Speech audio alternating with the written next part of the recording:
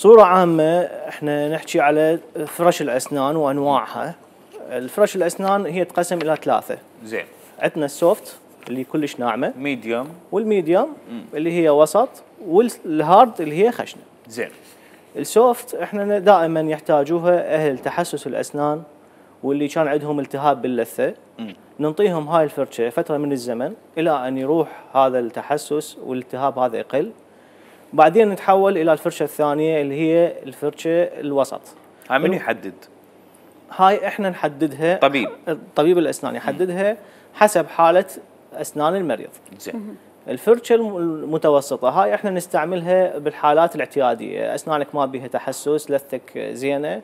فهاي نستعملها هي كلش مفيدة بازاله طبقة البلاك الموجودة على آه، سطح السن.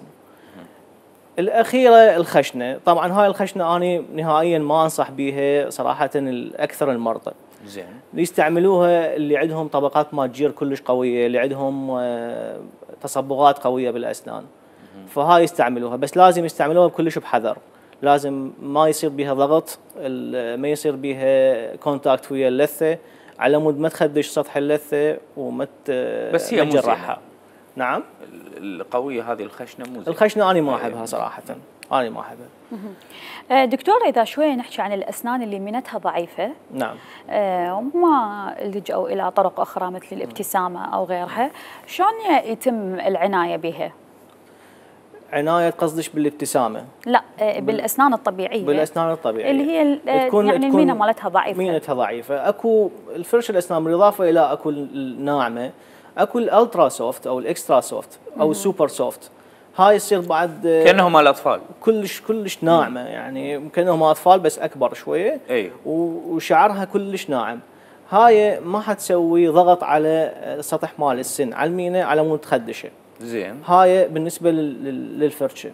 ممكن نستعمل وياها الخيط المائي. جهاز الخيط المائي هذا جديد بالنسبة لنا حكينا على شنو. الشغلات اللي نزلت جديدة. حلو. الخيط المائي هذا جهاز كلش مفيد لأكثر حالات الأسنان. خ- جهاز بمضخة مال مي صحيح، هو موجود صار. سنوات. موجود بالضبط. نعم. بمضخة وبمثل ال nozzle صغير هذا ال nozzle راح يدفع المي هذا ممكن على مود يصير يصير شلون على مود لا يخدش ال- شلون أو يسوي مساج للثه وبنعومه يوخر طبقة البلاك بين الأسنان. ليش نشوف أكو ناس يعني يعتنون بأسنانهم بانتظام؟ آه ومحافظين على مثلا نقول زيارة آه الدكتور. يعني ما نقول كل ست أشهر إحنا نعم. بعدنا مو واصلين هاي المرحلة من ال- يعني الحب لكم. يعني حتى نجيكم كل ست أشهر. بس يصهم عندهم حالات تسوس هواية. توصلهم مرات إلى مثلا حشوة الجذر هاي تعتمد على أسباب جينية. آه، جينيا بعض الأحيان الأسنان تكون ضعيفة. طبعا تعتمد على تغذية الأم أثناء الحمل. يعني إحنا نرجع لحد تغذية الأم أثناء الحمل من جابت ها يعني تغذيتها أثناء الحمل مال الطفل والطفل بعدين اجى وشون من البداية شلون إحنا اعتنينا من بالأسنان الطفل أول ما طلعت. هاي تعتمد بالنهاية على آه، بالأخير على الاعتناء بالأسنان من يكون كبير يصير تسوس أو يصير التهابات أو الأسنان حساسة. طبعا تغذية الأم لازم تكون غنية بال- بالحليب لأنه هو غني بالكالسيوم. آه، لازم يصير أكو مثل ال- الروتين مال أك- مال الفلورايد تكون تاخذ بس طبعا مو فلورايد آه، أكثر من آه، من, من نسبة معينة.